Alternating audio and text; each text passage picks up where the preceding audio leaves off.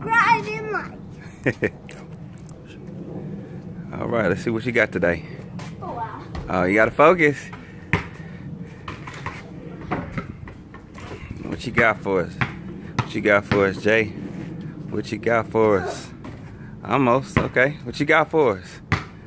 It's okay, guys.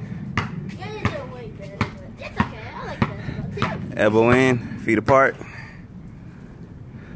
Shoot it straight. Ooh. See, we're moving further out because we've been doing strength training to be stronger in the arms and the legs. So you can see in our driveway, we have this line. The line is, you know, in the driveway is where he's supposed to shoot. And, uh, you know, it's only been about, what, almost eight weeks. Go ahead and shoot, Jay.